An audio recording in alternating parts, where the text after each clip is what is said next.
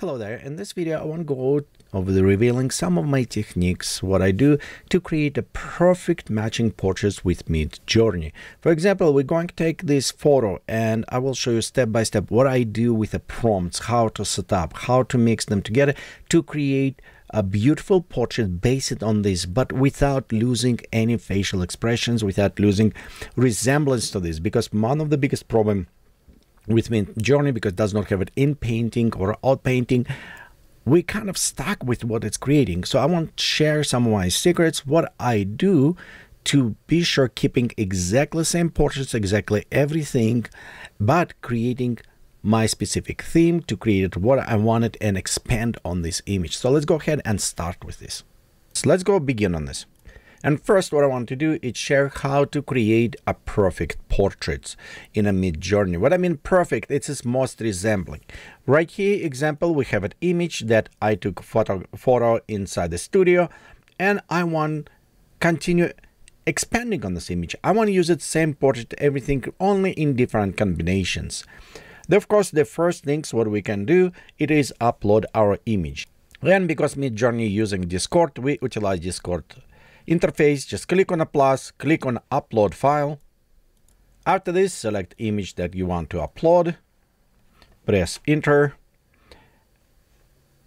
And here you have it, your image uploaded on Discord. You can upload more than one image at a time.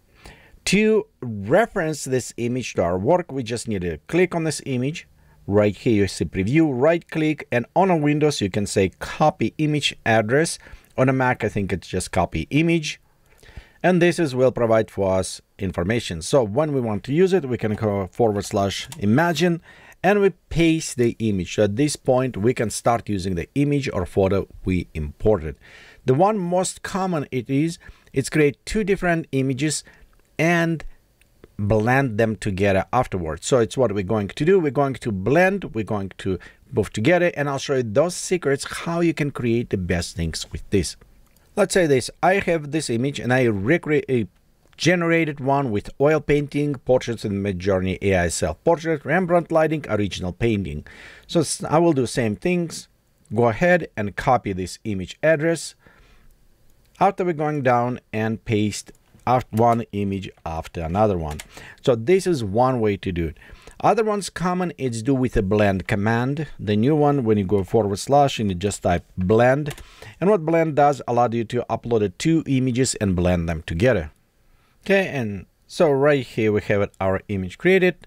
Notice we have border on the side because two images was a specific aspect ratio and it's make as a square, but it does blend some styles. The other blending work a little bit different because you can see we have some flowers blending, so it's not necessary work. What I want to do I want to create more realistic based on this with original portrait. And problem right here, if we look on a face, currently you see her face and versus what we merge in, they kind of blend together. So here's what we need do. We don't need it transfer face to face. And this is one of the biggest problem that people have it. They generated one image like beautiful ice queen, whatever. They have this image and they try to merge together with the original image. And when it's two faces, AI will blend them together. And that is the biggest problem. So what we needed, we need create image without any person in this. So let's look on these examples. Right here, the image was created style. Again, blend those together. You can see it does blend style, but again, the faces is mixed together. Instead, what you want to do, just type like abstract pictures, flowers on canvas, oil, pastel colors. Be sure you have a 2 by 3 a same rate aspect show which your original image you want to match with and just generate this kind of image background. You can create flowers. You can also go ahead and generate just the background drapes. It's what in this case I did abstract picture of background drapes Baroque style, oil on canvas, pastel colors. Again, we generating this without any person inside and this is important for us to when we start creating.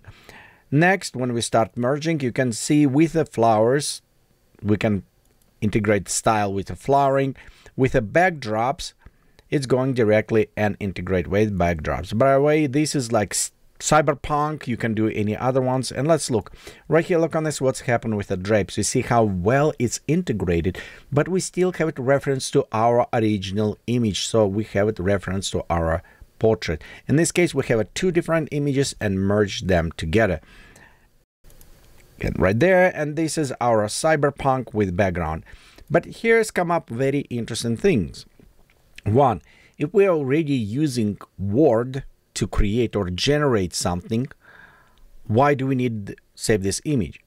In this case, we need to use just only one image original and rest we can use it as the backdrop, as a text line.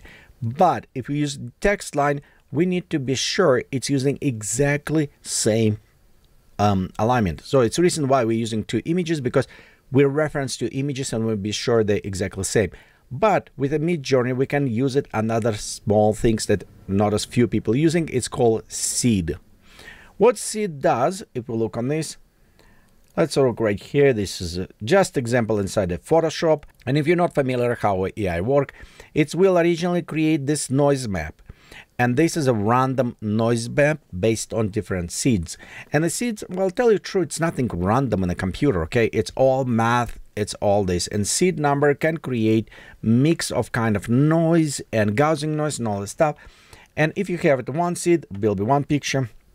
You created another one so you can see how they change and because of these changes we'll create a different look different layout and everything. We want to fix this noise and it's why we will use it seed number exactly the same so we can duplicate exactly the same result through all of them. Let me show you example what i'm meaning by this. Right here let's just grab one of the text. We'll just grab this one and we'll use it all the way here. Let's go ahead. Imagine.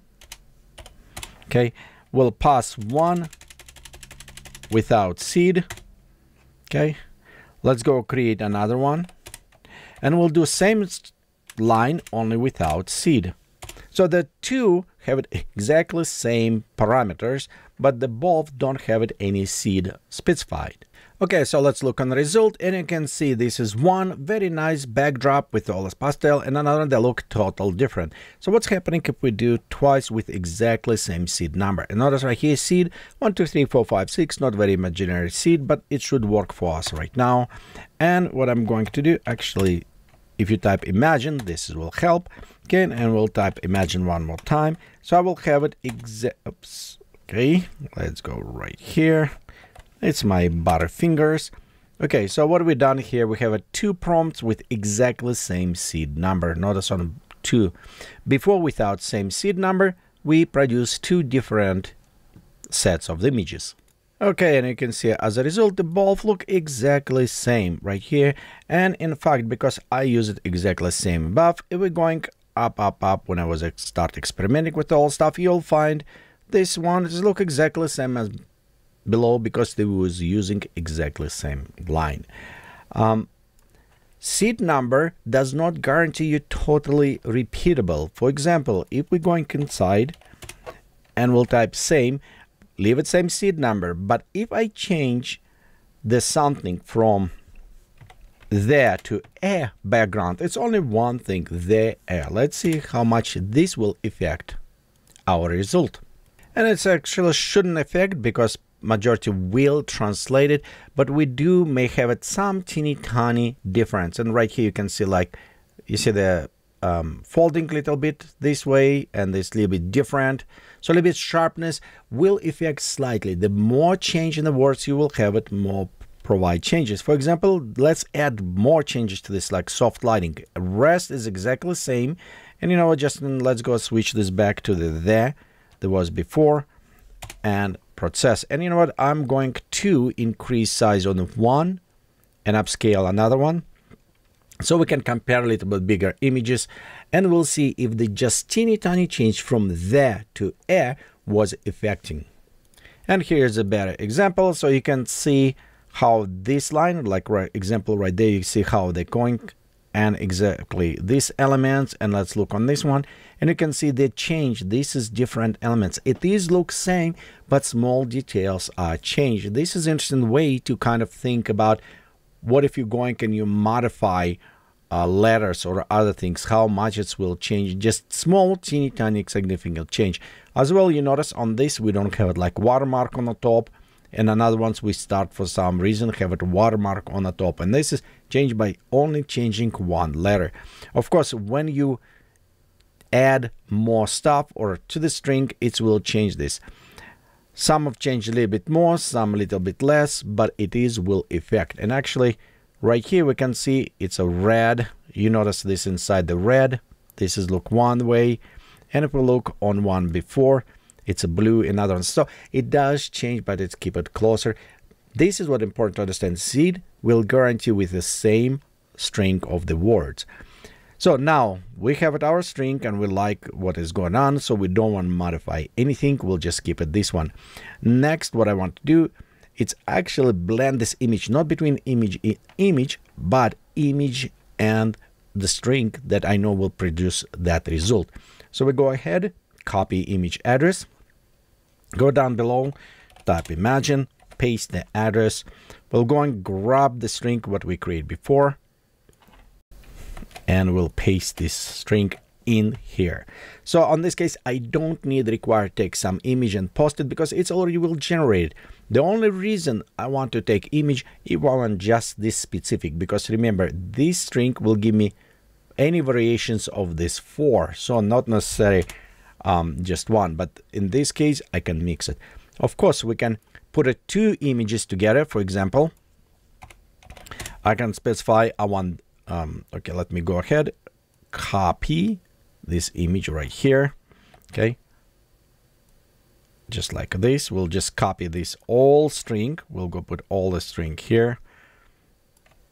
But I want specific uh, just use one image. So we'll go and select from that string or just example let's go this image okay we'll go copy image of this address and we'll putting after the image. So we kind of almost have a two images, one with representing what I specifically wanted, but we'll keep it same uh, line descriptions that we had before. And let's render this. So what is happening in this case is we'll take these two images, blend them together, and we'll also apply the string that we have it before. In this case, I want to be sure it's kind of using these strings. Okay, as it worked this way you also can influence beside this more what you need on an image so for example let's look what we have right here and we have a nice beautiful portrait but some influence of backdrop too strong i want more influence and i want to keep it the precise of the portrait. So another interesting thing is what is people don't use it it is image weight so let's go see what's happening right here. This is image and let's do iw okay? And we can have it image weight anywhere from 0.5 to 2 so the 2 the heaviest one. What i'm going to do i'm going to put it the brackets and this allowed me to do permutations so instead typing over and over and over again i can just type in these permutations and it will repeat it. For example i have it permutation 0.5 next i will have it 1 next i have it 1.2 uh, 5 yeah 1.5 that I should read it. And 2 so what is happening here? Let's we'll go over and says let's create four different variations with the different image weight and this is nicer way to see it okay when we done this press enter it should come up and says are you sure you want to do all these prompts yes the reason is Okay, and 1.5, it does not recognize. I probably put, put a space or something right there. Let me go ahead, click Show Template. So I'll preview again um, what I'm done right here. And I'm going to copy this template. Yeah, because I put it 1.1. Okay, that is my mistake. Let's go rerun this. So we go Imagine, run here. And after 1, I need to put a comma. So it's a number, comma, number, comma, number, comma, number. Okay, so now we'll produce four.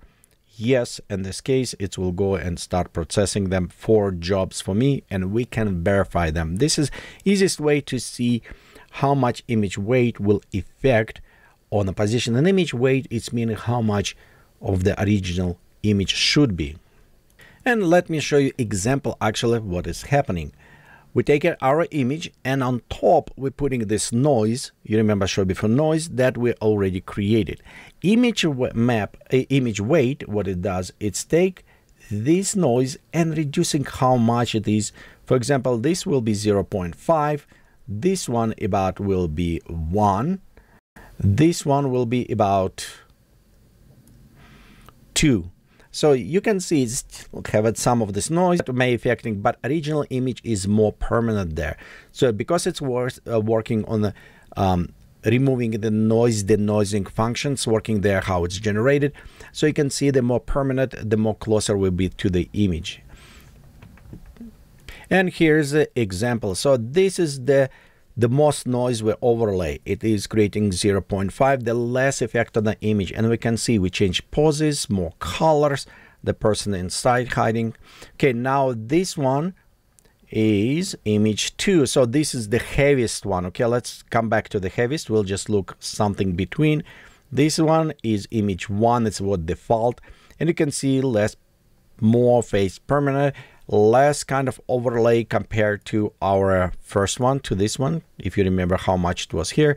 And of course this is with the face the more permanent. So this is about the image weight 2 the most impact we can create it. And definitely you can see the face is very much resemble what we have in a picture but it is change background. It is influence how it looks, stylization. We also can put it stylization, for example, on a Baroque dress or Rococo dress or cyberpunk dress.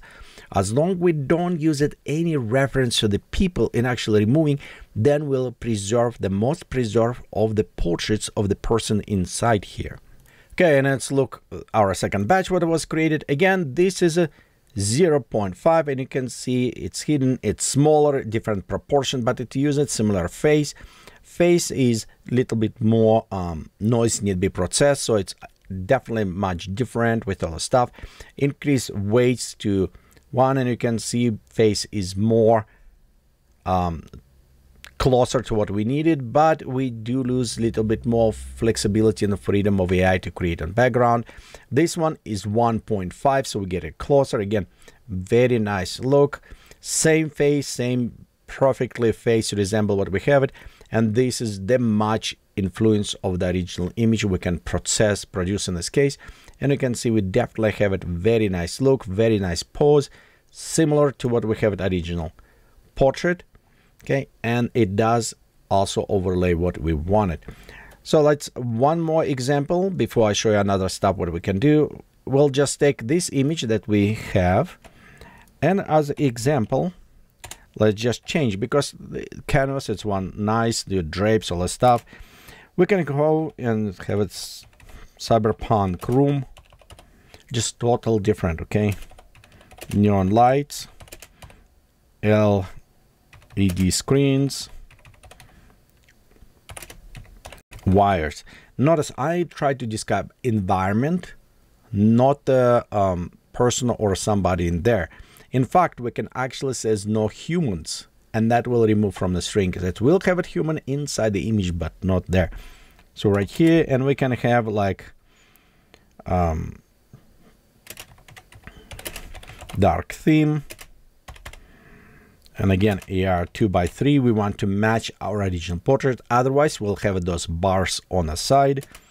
And we can have it seed if you need it. In some cases, if you want to have it um, same effect, I will recommend just create random seeds and reuse them because this way you know what the result you kind of will get it in this case, but it's not required. Okay, well done with this. Let's go press enter. Okay, and so right here we have our image. You can see sitting, but this is image weight one. Notice this, but it is beautiful room. We have our portraits. Everything look great. So let's go ahead put it image weight two, which will have it more um, power, more less the noise and more power to our original image. Okay, so and right here we have it with a better weights. Let's look on this, and it definitely you can see the face more permanent, more to the proportions that was inside the image and as well as positions and background less permanent, but it still be there. So on personal opinion, I think these ones is work better for the portraits when we resemble. But if you want experiment and just reference the otherwise, it's very nice to access. Thank you for watching this video. Hopefully it's give you good um, tips and points and reveal some secrets of what I'm doing when I create the portraits and I want to create portraits closer resemble to original photos. Let me know what you think. Uh, please subscribe to channel, support. It's very, very helpful when you guys um, share this video and support the channel. I greatly appreciate this. And thank you again for watching and have a great time creating.